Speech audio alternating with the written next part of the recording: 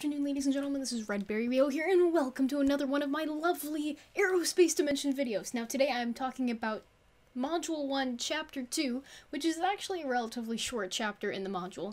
And the main stuff that it talks about is how gliders work and the different components of the glider. So let's just jump into it. One of the major concepts that this chapter talks about is how thermals work, and how when air is warmed by the sun, it rises and it cools off. And in fact, every 1,000 feet up you go, it loses 2 degrees Celsius, or also known as 3.5 degrees Fahrenheit for every 1,000 feet gained. When the atmosphere is most resistant to this like convection that's happening where the, the sun is heating up the air and it rises, is when the air is called stable.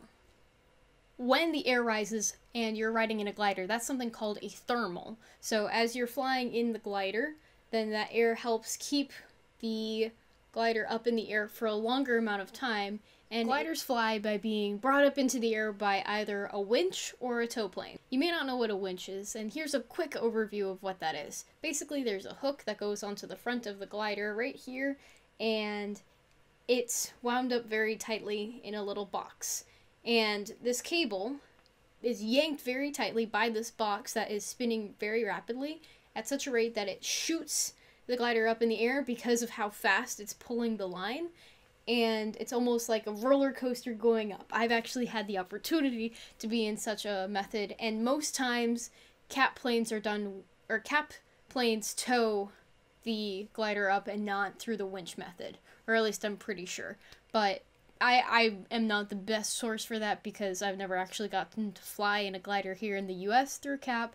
It was actually through the Air Cadets in Belgium.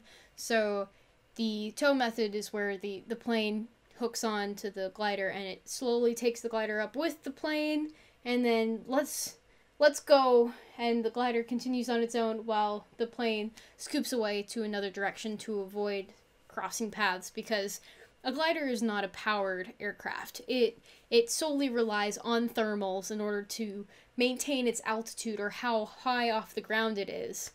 And since it doesn't have that ability to add in more power, the plane does not have the right of way. The glider has the right of way, and the plane needs to leave its course for the glider to continue on whatever path it was going. Some short things about how gliders work.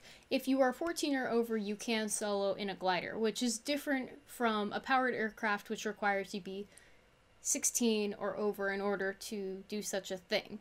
There's plenty of opportunities to fly in CAP, including powered flight academies and unpowered flight academies or glider academies, and they're across the country. They're part of the system in Civil Air Patrol called the NCSA or the National Cadet Special Activity Program, where over the summer you can you can sign up for doing stuff ahead of time and participate in those kind of fun summer activities, which is like in addition to like state level activities that are like encampment or the National Search and Rescue Emergency Services College. There's there's a lot of different opportunities and those flight academies are a good way to get into flying if you are interested. And there's also flight scholarship opportunities to help pay for lessons if you're doing them outside of CAP or in CAP. There is an activity at the end of this chapter if you would like to create the Zia glider, then feel free to do that. I will not be personally doing that on this channel, but if you have any questions for me about this chapter in Module 1,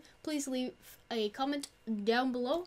Thank you guys so much for watching, and that is all folks. Until next time.